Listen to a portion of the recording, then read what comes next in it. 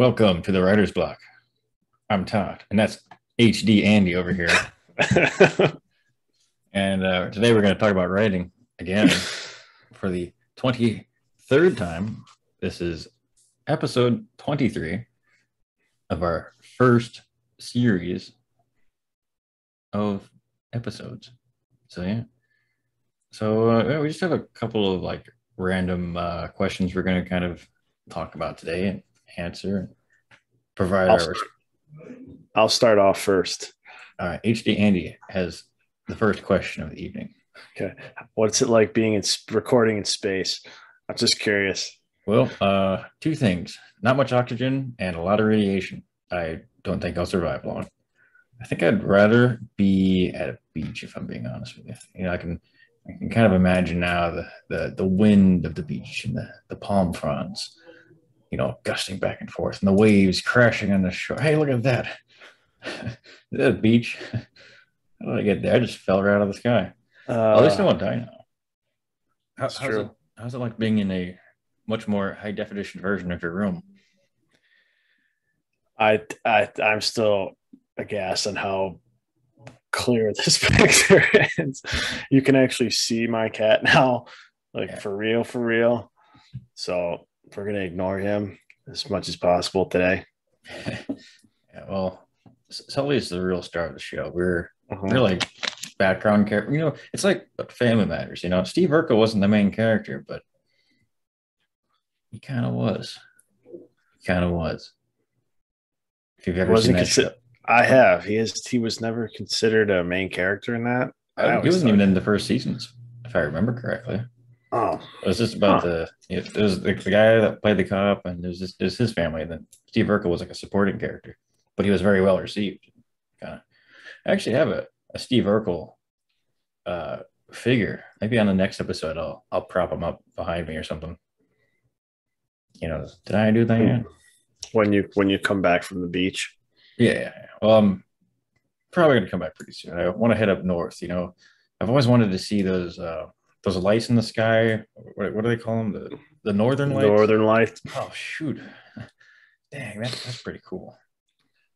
I was going to say it would stink for all these people listening on Spotify right now not to see what's going on. But after you told me today's uh, uh, stats on the listeners of Spotify, I don't think I'm too concerned. Well, I wasn't going to brag about this, but uh, or about that, but yeah, there's nobody watching on Spotify or listening for that matter. But um, yeah, um, hopefully this is actually showing up too on the final video because it's always possible that all of these backgrounds are like copyrighted and they won't actually be saved. And I don't know, that would really suck. That would be But- interesting because then my initial question would be have no make no sense. There would be no context Yeah, at all. that would be pretty unfortunate. It's Mm. probably best that that doesn't happen, you know.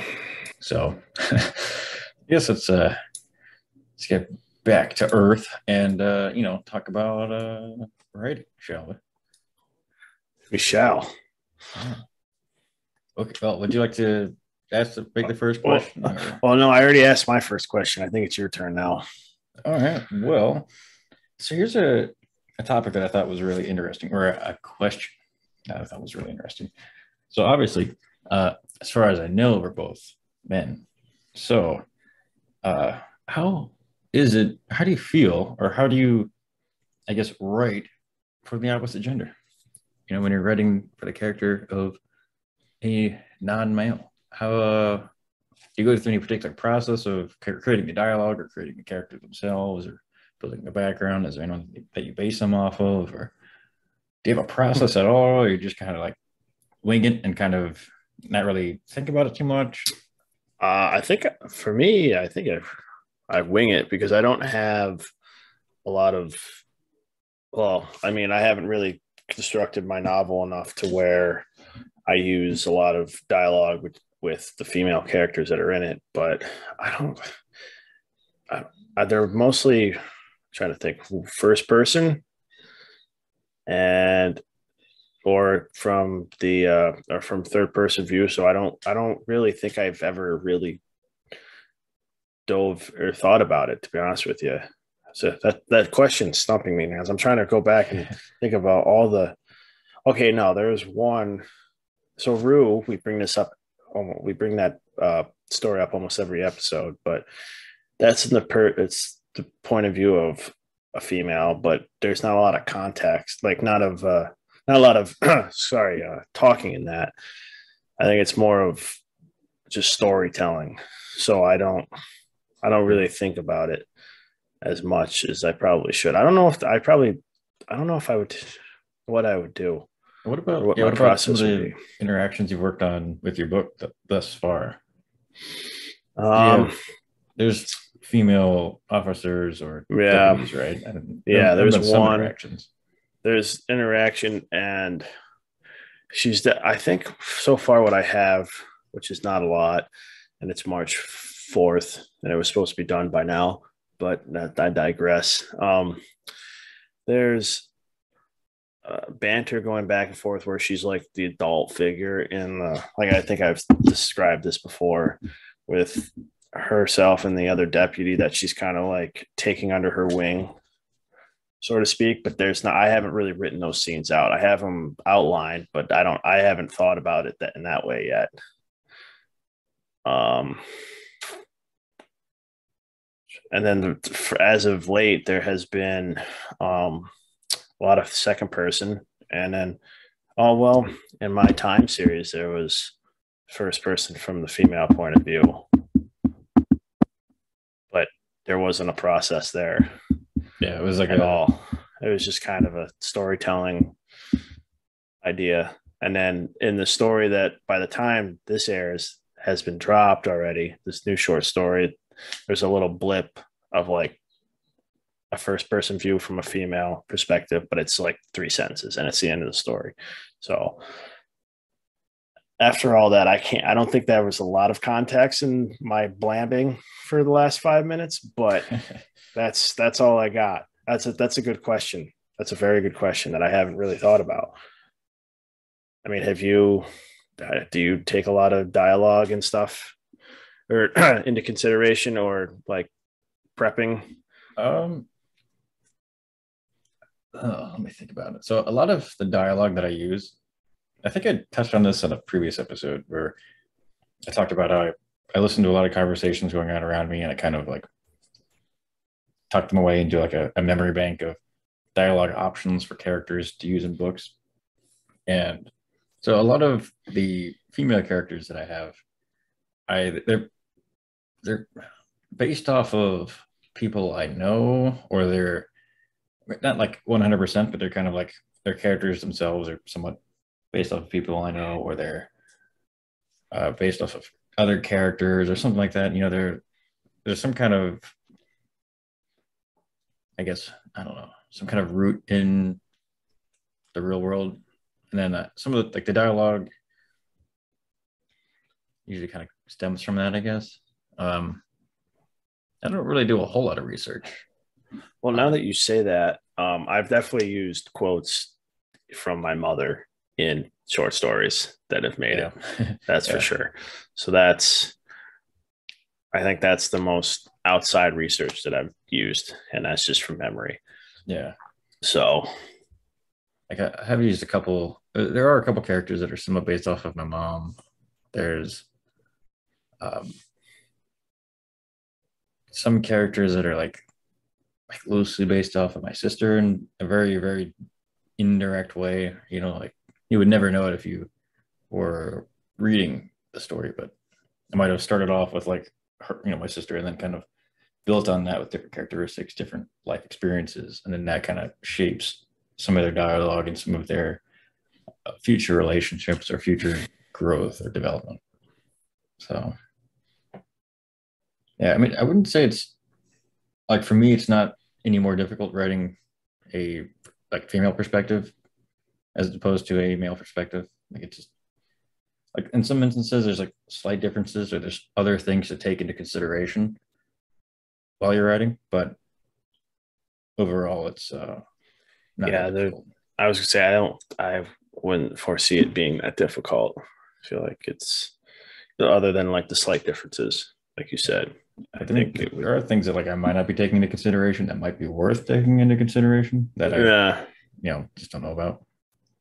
But yeah, It's because you you have authors that uh, take like they do first person or third person from the the different gender and then like the opposite gender of that their own and then right through it like it's like it's nothing so i'd Yeah. it would be interesting to ask how they if they have a process where they just pretend like it's themselves you know that could be in you know they're writing like they're themselves but in a different Yeah. like, version of them I do think that like a big portion of it is just experiencing the world around you because you can Mhm. I think it's, it's easier to craft a character if you have a large like, base of interactions to choose from, you know, like you've got all these people you've interacted with or people that you've listened, talked to, or whatever. And you can, you know, use that information, that knowledge and experience to craft characters from those inspirations. I feel like yeah I don't know if that, if it, I don't know how it works for everyone. So that's a, it's a question worth asking the entire world, all of Earth, is. one might say. and they could leave a comment below or be a guest on our podcast it's one of the two There is always room for guests. We have this entire planet, after all, to, to do this upon. But uh, yeah, so uh, well, that's that was my question. What is your question, Mister right, HD well- Andy? Is that what you're going to call me from now on? Uh, just for the next three or four weeks. Yeah. Okay, that's good to know. Um, I guess one one of the questions that I found is, what's the process that we take to, into brainstorming story ideas? It's a good question. That's that's off to you first, there, Skipper. What's the brainstorm process of making a story? yeah, for for us, yeah. Like to come up Do we have do, do you yeah like a storyline or a character development or any sort of Well, I mean, like, so story ideas, as odd as this might sound, they just pop into my head at random moments. And then over time, I develop them and then craft a story out of that. Sometimes it could take days to develop it into a full length story. Sometimes it could take years. I mean, I've got this fantasy series I've been working on for I don't know, eight years now, I feel like, which probably will get made someday, but you know, I don't know. Um, so I don't know if that answers your question or not, but it's uh Well, I have a similar answer. Like I just kind of come up with stuff like through like this new story that by this point has dropped. I pretty sure I we were either off camera talking about it, like prepping for the show, or it was during the episode, and I was like, "Huh!" It just popped in my head. I wrote it down, and then I spat out ten pages. Damn. well yeah. Um, So yeah, I guess like same yeah, the same for me applies to short stories too, I would say. Like it I'll just suddenly have an idea and I'll I'll write it down on a on a slip of paper, you know, and then try to write it whenever I can and you know build upon that. And then sometimes I'll I'll see if I can knock out, you know, additional sequels to it, you know, even if they're only mm, four or five pages. Like I have two short story collections I've put out recently. One deals with this sort of apocalyptic event, and the world has to kind of decide on what to do next to try to mitigate disaster. And you know, lo and behold, they, they choose the wrong choice. And so it's like five stories, five you know short stories about it. Starts off with looking forward beyond 2049, and then the the last one was the uh, the, the dusk of human empire. So you know, certainly a, a ends on a positive note, as I can as you can hear. Uh, it's actually it was a neat series that all started off with a uh, school project. I had to write a utopian short story, and I will end up having to write a dystopian short story uh, at sometime later this month. I think maybe early April.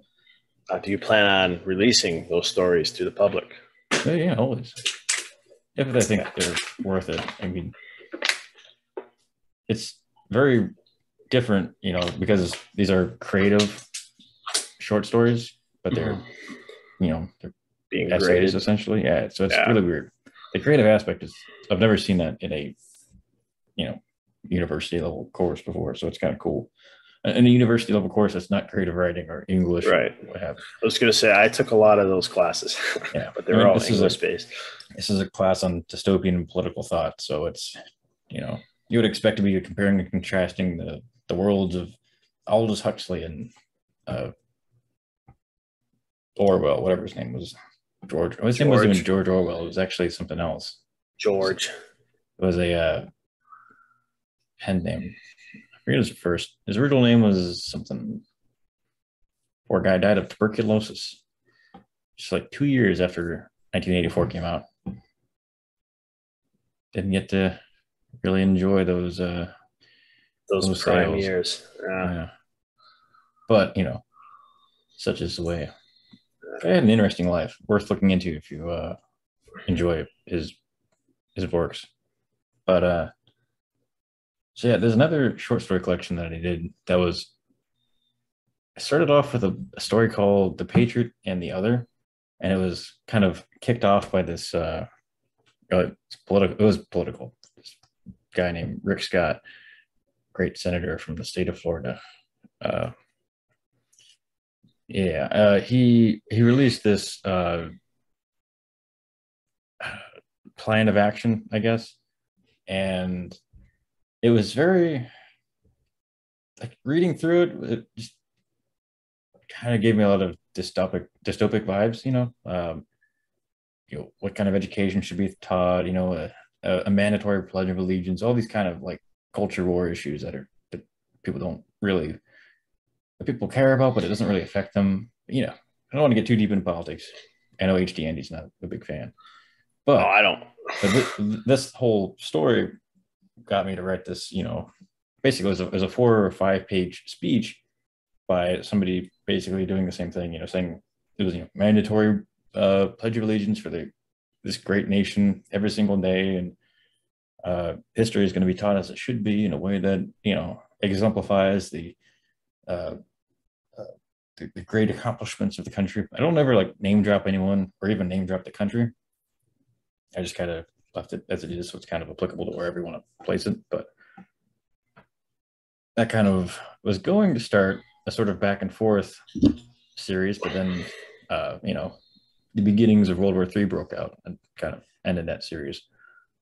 Because then that gave me an idea for a different story. But yeah, story ideas that just kind of pop in my head. So yeah.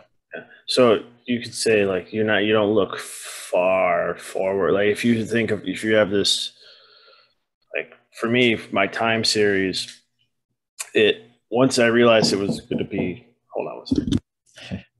Yeah, I would say most of my short stories that I've released were ideas that popped in my head the previous day. You know, like it was okay. it was like it was an idea, wrote it down, and then the very next day, once I had a, a chance to write it out, write it out. Yeah, sorry, uh, Grandma dropped off food. Anyway, holy cannoli.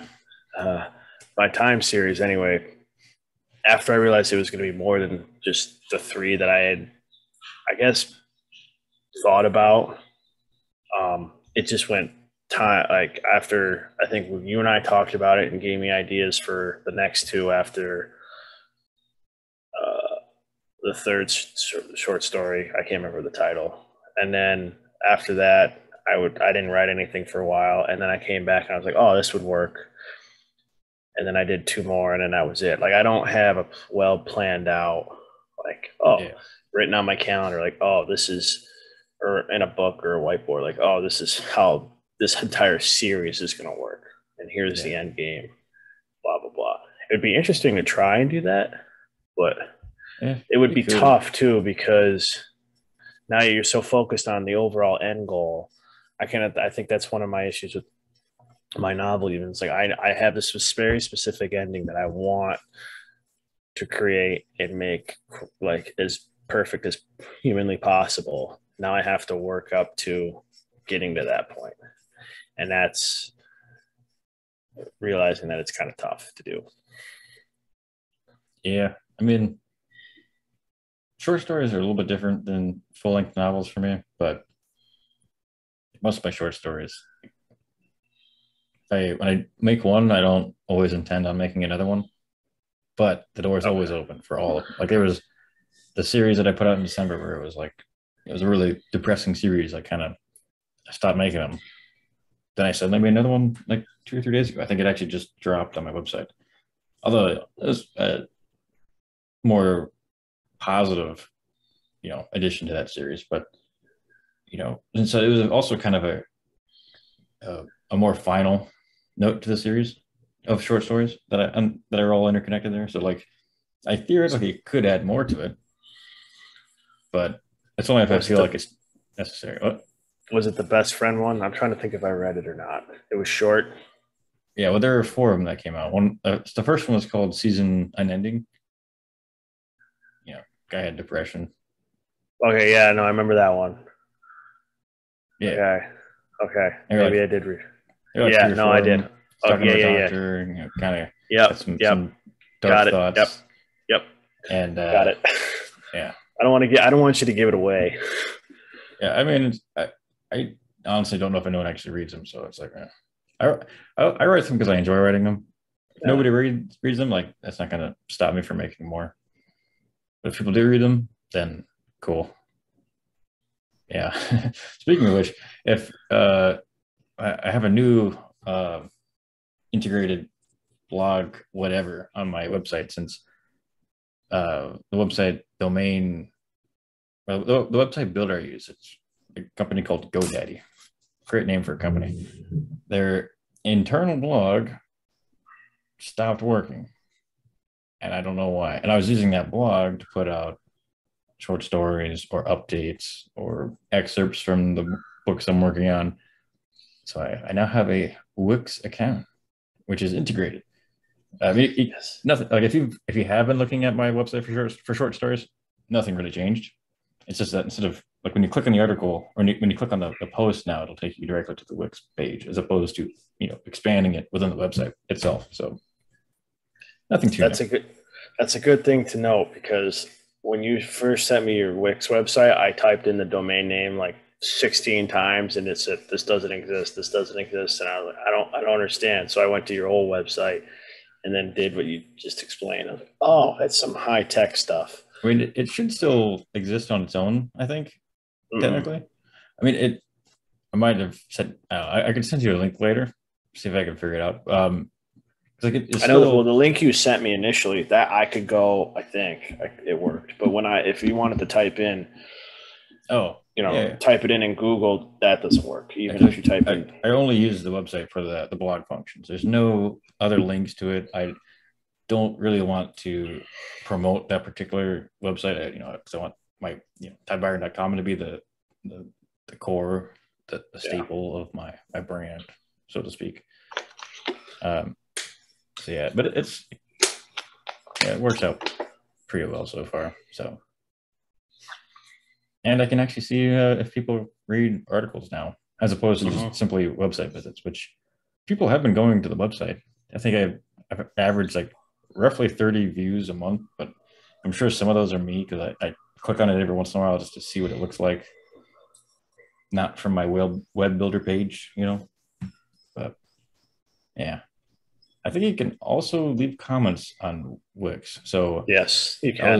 the, the comments system on the GoDaddy blog thing was shut down in November. So, uh, yeah, finally people can tell me if my crap sucks or if it's They don't you know, moderately okay, but just not quite their cup of tea. So, whatever kind of comment you want to leave, it's uh, there if you want to do it. And I don't- uh, I'll probably I don't even. I don't even get those. I don't even get comment bad comments. I just am like, okay, that's it. Yeah. But I still ask every single time I put like the new notification, like, hey, there's a new story. Please critique. I don't even say leave a nice comment. I just like, please critique it. Yeah. Yeah. I mean, it's, I don't know. I, I don't, I don't know. Writing short stories, I haven't really, I mean, the short stories I write are very short. I mean, five or six pages. I usually don't go beyond 10. So it's short, like emphasis on the short, you know. So I, I, I write them because I enjoy them. I, Yeah. an, even if it's a page long, I wrote a short page long story about this couple that was, uh, they were inside a building and there's a horrible tornado coming through and it, it was something that I just thought of while watching a video of uh, it was a, some kind of it was this like constant loop of a wailing siren that you would hear if there was a tornado coming. And um it was it was very like like it wasn't inherently a dark video. It was just this these clouds this tornado and then the siren going on for like an hour.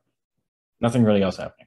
And it just kind of got me thinking of this couple trying to sur- trying to survive this tornado you know the lights going out things flying around windows shattering and the constant wailing of the siren and the rain and the hail and um, put it together in a really really short short story and it was pretty good and I enjoyed it. I even actually I took the the title of it from a, a comment to that video. Somebody was like they were like this should be called the, the blissful depart because part of the what had some people had thought was that uh you know people are dying in this situation. So yeah, I don't know. They just come to me. Short stories. And yeah. then I throw them on the internet. Uh, that's pretty much how I am too. It's just you see something like, oh, this would work, or you experience something, oh, this will work. But I never divulge which I've witnessed and which I've experienced because that's uh, compromise of privacy. Yeah, yeah. I mean, nowadays most of the stuff that I write is uh, it's all fictional, not really based on anything, any like real life and not any like personal events. It's yeah. just stuff that kind of pops into my head.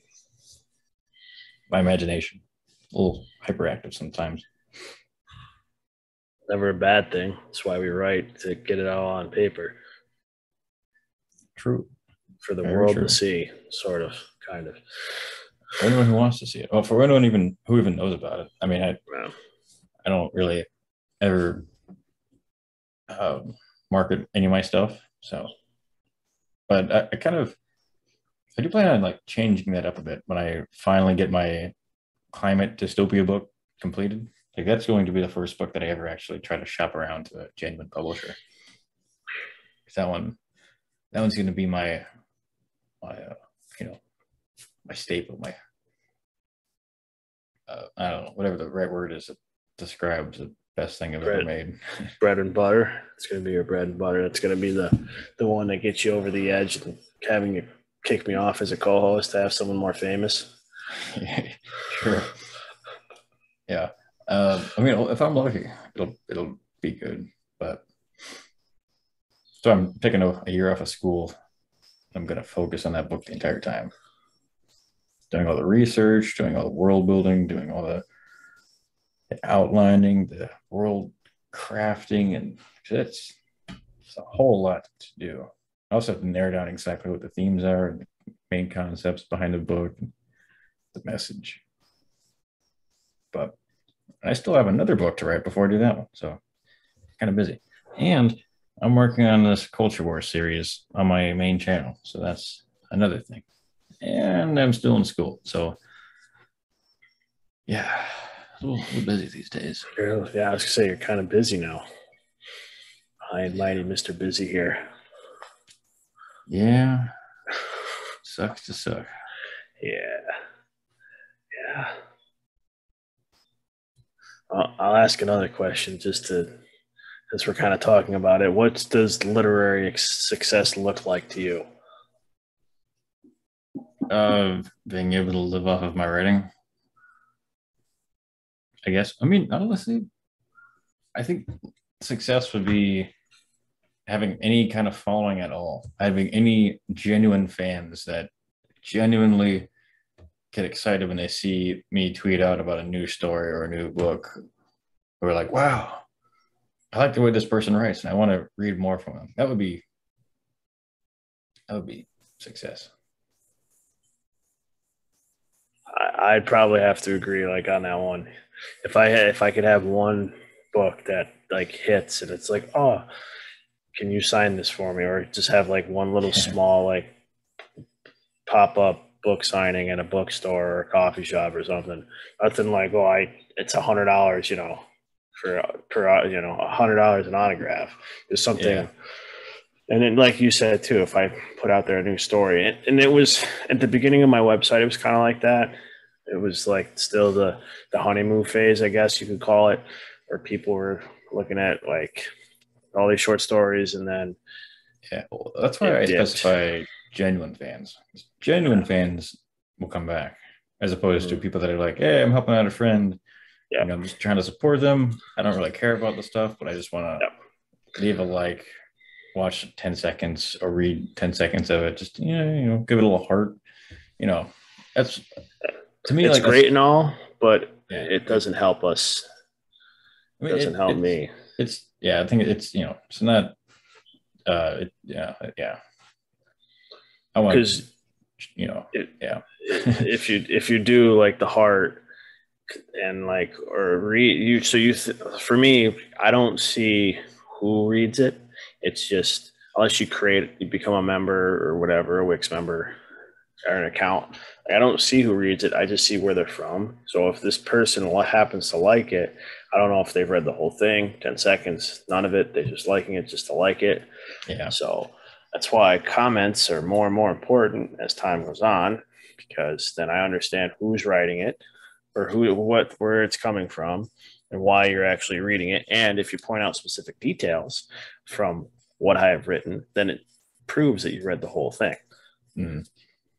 Which then helps me create a new story to, and then like kind of use or keep in the back of my head of what people, what you have said.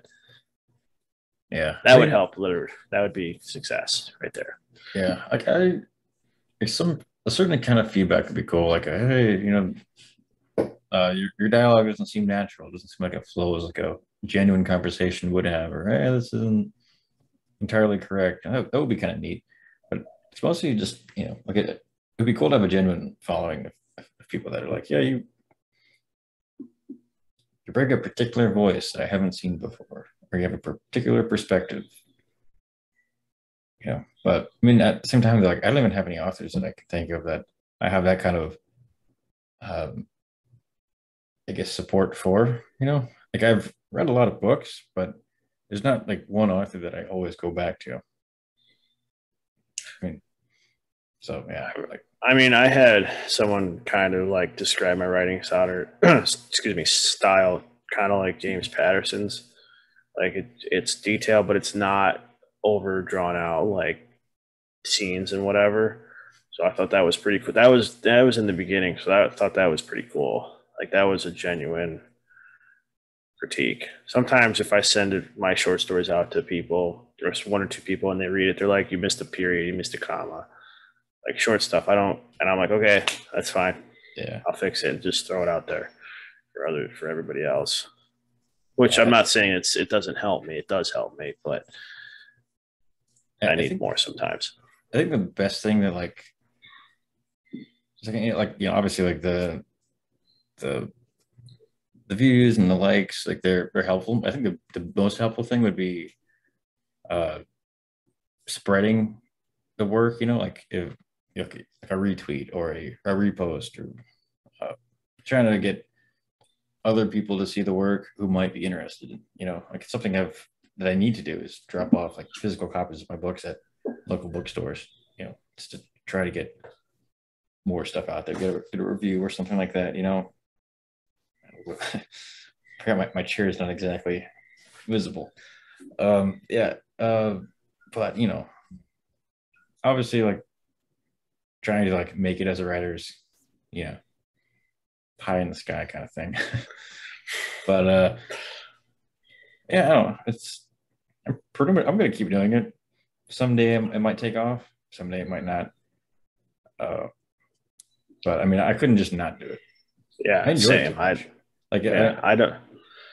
I could lose my. i have lost money doing it technically i'll keep doing it Yeah, I haven't. Um, yeah, I, I because I was doing it even before I had my website, so it wasn't like I was waiting until all of a sudden I created all this stuff for my website. You know what I mean?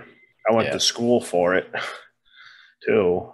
And I that was way before I even knew I was going to create one.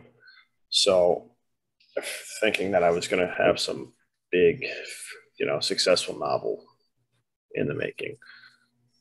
But I can't, I, it's crazy to think that um, how my personal downtime would be if I didn't have writing.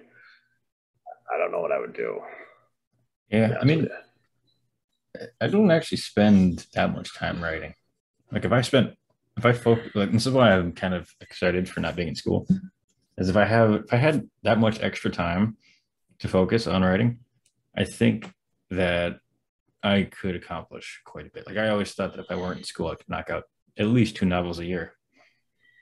And, but you know, obviously, like like it's hard. I, I won't I won't be in a position to do that until I'm probably in my 30s which isn't that far away. But um, you know, until I get there, I'm just going to keep doing what I can do. And short stories has arguably been the best way to move forward with that because I've still made some really good stories. I thought that I think you know I'm a little biased, but I, have made some pretty good short stories without having to do much. You know, I, I, like I do some. Usually, a lot of the stories that I these short stories are kind of like a product of research that I'm doing that are it's unrelated to it. You know, like learning about dystopias in my dystopian class is pretty much made me want to write dystopias for quite some time because there's a lot of content in our current world that would make for great dystopian stories. And so, you know, all that together, it just, you know, it produces story ideas in my head damn near every day. So I got a folder full of papers that just say, you know, it's got a story idea. Sometimes if I, if I have a, a, title in mind, I'll write that on there too. You know, like the, the Patriot and the Other, you know, that one was the whole point of the title is supposed to be, it's supposed to show the separation between like a true patriot of, of the, you know, great nation. And then that other person, you know, this disconnected lesser person who has more degenerative personality traits or characteristics, you know, this as outcast, you, know, to be looked down upon. That's the kind of the whole perspective of that title. It's supposed to say a lot, uh, and it kind of harkens back to um, old colonial stuff that I've read about about uh, you know civilized races and then the others. You know, there's the European settlers and then those other savages who are incapable of any sort of civilization and are barbaric and savage in every way. You know, it's kind of that same sort of dichotomy, but in a different setting with different people and a little bit interconnected to modern day politics in which some politicians are trying to dehumanize entire groups of people. And it makes for a really good short story that actually is kind of scary considering how true it could be or uh-huh. is. And I guess my, my short story is a bit more dramatic, but if you read it, it doesn't sound like anything that's too far fetched for any particular politician in a particular party in the United States to suggest. So, yeah. If you like any of that stuff, you're going to love this dystopian novel when it comes out. That's all I'm going to say. There you go. That's, and I lean towards drowning people with cement blocks. I, I, thought you, I thought you were just going to say I, I lean towards drowning and then just end it there. Like that's jinkies. Uh, that's a big jinkies. Yeah. No, I think I need to. well placed cinder blocks. Yeah, uh, I need to. With my short stories, I think I need to revert back to the crime genre, and I, I think that might actually like get the wheels turning for my novel a little bit more. Yeah, because I've been doing all these. I mean, that whole time series was just you were drunk and sad. yeah. And then this last one, it was the first person perspective, but from I don't want to give it away yet because uh, I mean, people might not have read it. It's already been dropped. It would have been yeah. dropped by the time this episode drops airs, but you might not know it. You might not see it. So this is the first announcement that it will be here. Huh. So I want you to read it. No kidding. All right. Well, I was gonna say something. He already did. I think he gave it away. No, People might no, I have was- to. I was gonna Oh. say something about. uh I was gonna, I was gonna suggest about your your novel. I was gonna suggest that you watch some like serial killer movies. You know, Yeah, I'm gonna have to get back into Criminal Minds again.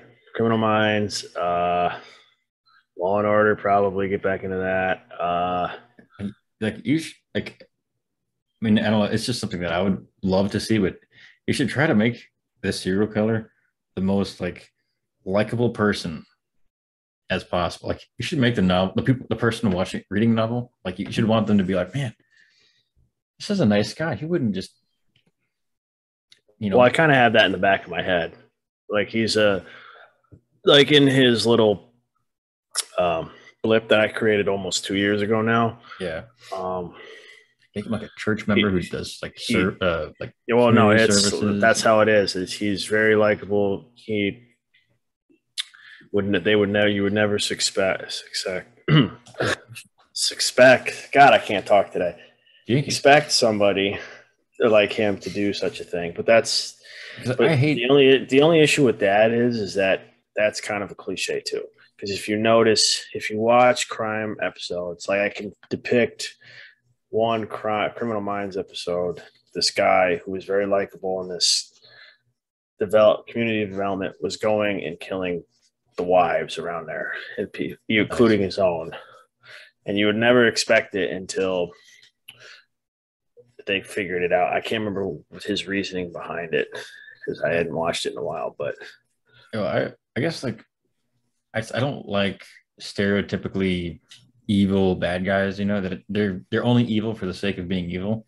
I just, I, I think it's even if I don't I, I hesitate to say it's cliche to say that there should be some kind of logical reasoning behind what they do. I mean, I th- okay, I guess if you're a serial killer, maybe you don't have logical they're- reasoning, but in their head it's logical. Like th- if you Yeah. read the prologue, read the prologue, it said specifically says like he's ridding the evil of the world, and that's why God created murder, is for people like him to rid the evil of the world and Yeah. get back to what. so he's gonna be like a hyper religious kind of person then. No, I no, I think that was just it was just a quick mention. I don't even know if I actually put God. I think that's it could have been just. Uh, Satan. no, you know, it could have just been uh, caught through context clues that he was just that's what he thought, or it just said something like it was. It's not going to be hyper religious. You could have him be There like are a a, lot of a those, pagan too. worshiper who's like trying to please some weird pagan god from the old countries, you know, and it requires sacrifices. No, this guy, he's killing these people because it reminds him of somebody. Uh, That is also that is also written in the prologue, which doesn't sound like you have written or you have read my prologue. I have. I don't know if I mentioned this before, but I, I forget a lot of stuff. uh man. So no, I'm just kidding. I can't even remember half of what I write. Yeah. But but I think I need to start. Well, well, like I said, I've been trying to read more. Some days it works, other days it just doesn't work because I'm like I know I know if I start reading, I'm gonna fall asleep in like five minutes. So it's like there's no point because I'm gonna have to reread those five pages anyway. fair enough. Yeah, probably leaning towards TV and movies would probably help, or LA Yeah. Noire if I ever want to turn on my Xbox again. Yeah, I, I think I don't know. I always always think stories where you can if you can kind of relate to the bad guy or if you can sympathize with the bad guy, it makes the story more compelling. Like I just keep thinking back to Breaking Bad, which is Never kind of old. Well, yeah, really good. I mean, they take this like really dorky, kind-hearted chemistry teacher and turn him into a meth making drug emperor who you know gets family and friends killed and he's psychotic you know like he goes it's it is such a character arc that i have never seen before nor have i seen it really there's there's something else that i've seen uh, that i think kind of has been able to create that kind of arc but it's very rare that you see a character arc done that well and because at the end of the, the series the main character is a evil bastard, but you're sympathizing with him. You're still upset when he's like, you know, when you think he's gonna, you think, oh man, he's gonna go down, he's gonna die, and you're starting to feel like worried for him, even though this guy is a meth dealer who literally is like Well, he's way now more you know meth how, dealer. You know, he's just this crazy psycho. But well now you know how I felt at the end of the uh, the mob documentary on uh, Netflix, bugging the mob after they all got arrested and one one of the mob bosses got whacked. I was like, this sucks. I don't like this. Been kind of rooting for you the whole time. well, it's similar, but I, I, I feel like the average non-Italian person isn't going to have similar uh, predispositions for the mafia. Uh, but um, you know, Oh man, that's that's fair. man, this is the death of organized crime. This is awful. Who's going to extort those mom and pop shops at the corners? oh man, Uh, who's gonna run our um, garbage management. systems now? Yeah. Yeah, Oh God, but it's it's a difficult task to to build that sort of. Um, that takes a lot of a lot of time and a lot of effort and a lot of not a lot of distractions. So you got to be honed in, know what you're doing. I mean, that, that show went for five seasons. It was quite a quite a story. But I don't know. I know this dystopia work. I'm uh, this dystopia novel I'm working on isn't very character heavy as of yet. I'm I'm still not really sure exactly what it'll be like, but I'm leaning towards making the world be the main character. If that makes any sense. But Um, th- no, it reminds me of that uh, that webinar I watched with the two authors that the Tampa Bay Times put on, and uh, one of the authors, I can't remember which one, said that they don't use. Sometimes they don't use characters; they use like houses or the town to really kind of like dri- drive the story forward. And the characters are kind of the the protagonists, or the sorry, the characters are just secondary. They're just kind of there to Yeah. story forward. That'd be interesting too yeah, like a view of a house or something. Oh, I just gotta see it like that. I just had I just had an no, I just had an idea for a short story. talking house. just pop. What? Is it a talking house? It might be a talking house, like in like in uh, Family Guy. Yeah. Yeah, I, I know exactly what you're talking about. Uh huh. Um, but uh, yeah, I don't know. With- with my novel idea, like what I really want to show is how the world changes, and it's hard to do that with one single character unless they're Superman or uh, a traveling diplomat, I guess. So like, I, the idea is to, I don't know. I still don't know exactly how I'm going to do it. It's, but you know, I want to be able to show the Americas, Europe, Asia, all the changes happening that are climate based, but like there's also changing world order in like ongoing as well. So like. I kind of I don't know, I'm, I'm afraid of going too big with this, so I kind of I got to restructure. But yeah, not a lot to say on it for now. Uh, well, that's that keeps everybody who's listening in like wait and wonder and anticipation of how good this is going to be when it comes out. Oh, I didn't get to come out this year. I can tell you that much. Well, then they're Uh, just going to have to suck it up and wait. at, at the earliest, I would say like maybe mid to late 2023. That would be my my ETA on it.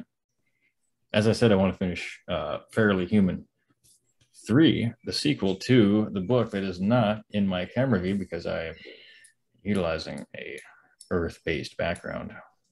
Yeah, I'm assuming it's Earth. That could actually be a uh, There it is. a planet that is livable but not Earth. But yeah, the sequel to that one right there. You know, so yeah. Once I'm done with that, I'll jump into it for for um, full on production, whatever.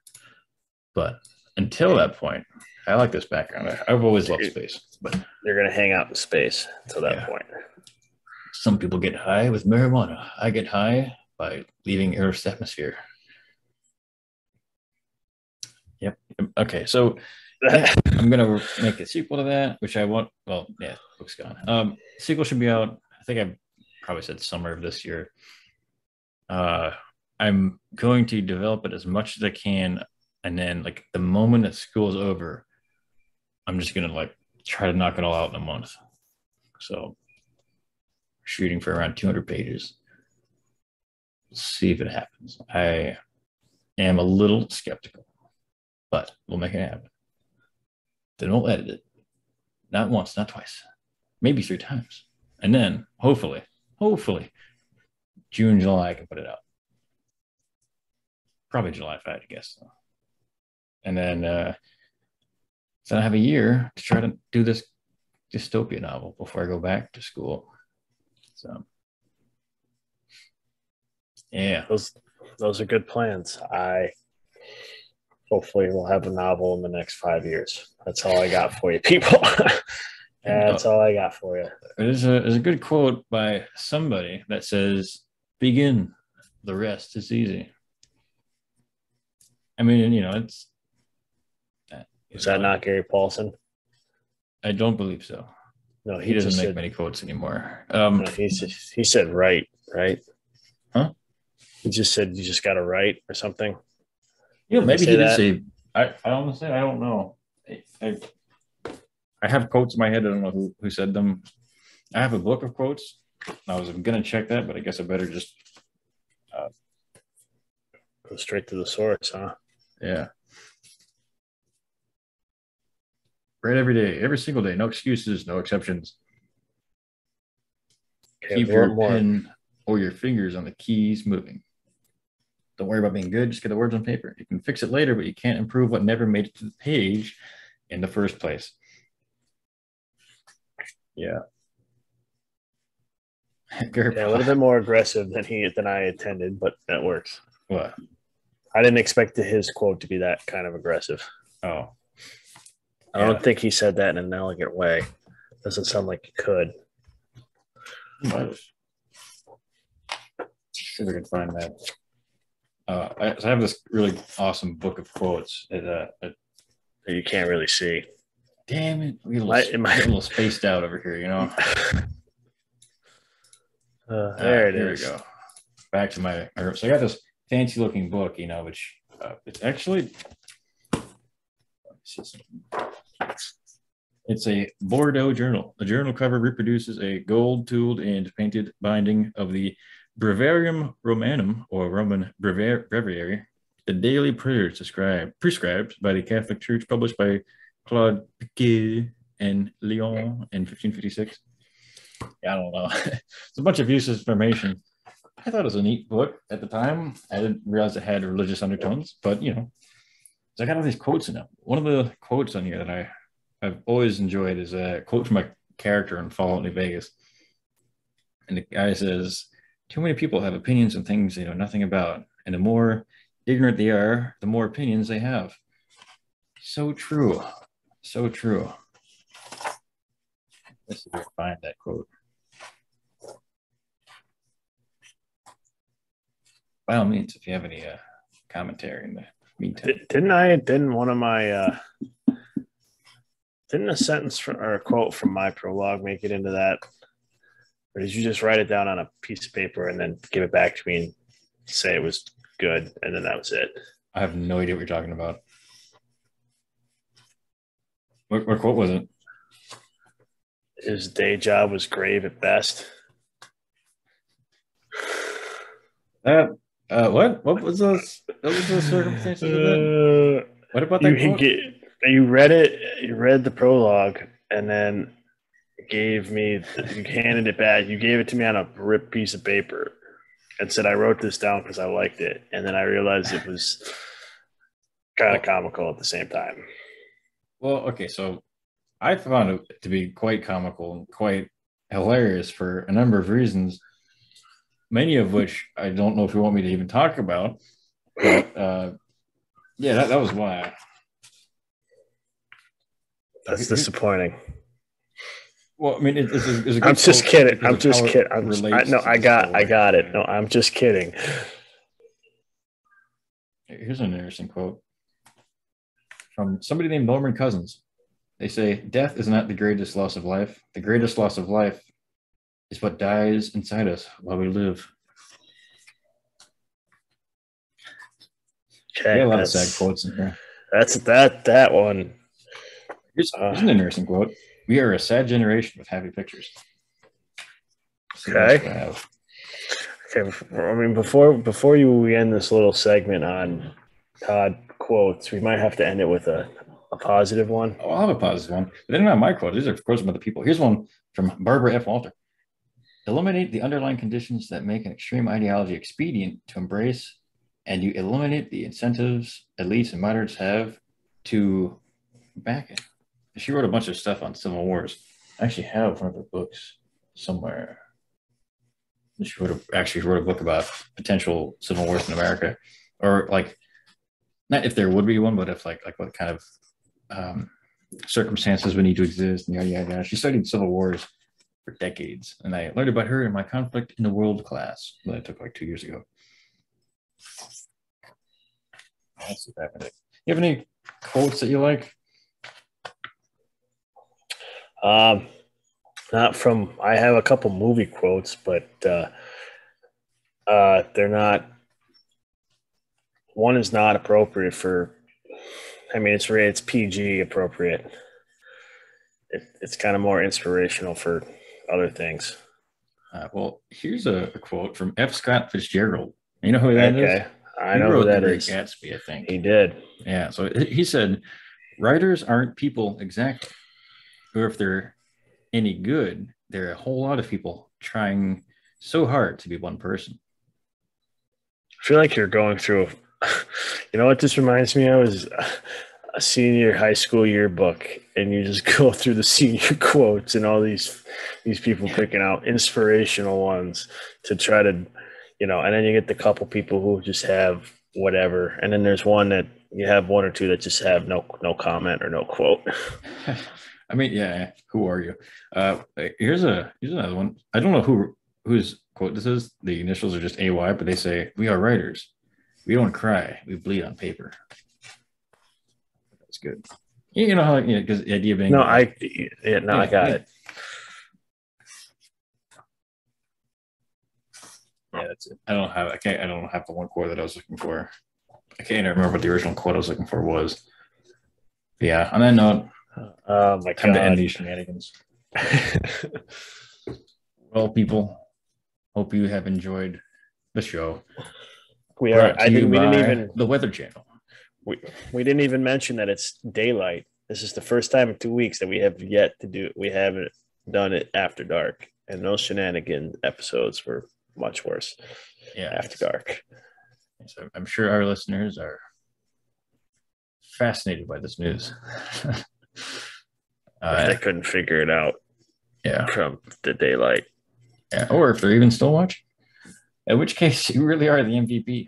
Um, yeah. So, um, hopefully, you enjoyed watching and/or listening. I mean, if you're on Spotify and you're hearing this episode, you are the first person to listen on Spotify in quite some time. Long time. So, That's not one of us. yeah. I mean, I'd never listen to this crap, but. um, anyways, thanks for watching. Thanks for listening. Have a great day. Don't forget to like, subscribe, and spread this content all over the world. Show it to your family, send it to your friends, even that uncle you don't talk to because they have really questionable political positions. Just send it to everyone. All right. We're desperate. Anyways, thank you. Have a great day.